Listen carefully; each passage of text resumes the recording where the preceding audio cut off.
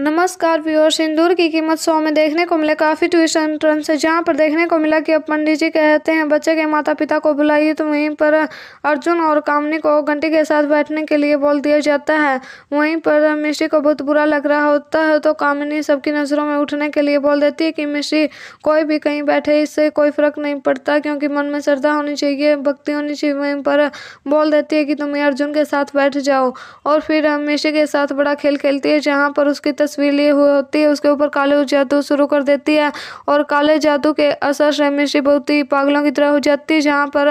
उसका शरीर उसके वश में नहीं होता है और उसे बहुत ही ज़्यादा